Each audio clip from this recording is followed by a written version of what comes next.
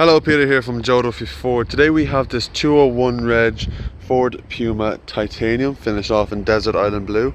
This vehicle is a 1 litre petrol EcoBoost with mild hybrid technology, producing 125 brake horsepower.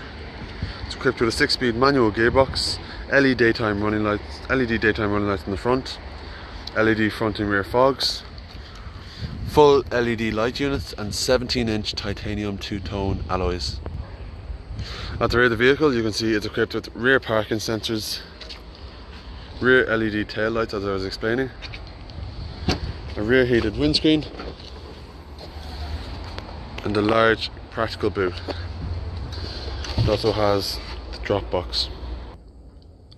The interior is finished off in black cloth Comes equipped with four electric windows, electric adjustable and power fold wing mirrors, central locking, automatic lights, leather upholstery multifunction steering wheel, full air conditioned climate control, 12 volt and USB port, and your full AM, FM, Bluetooth media radio.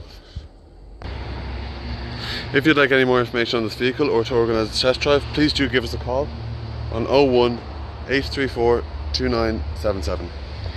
Thank you.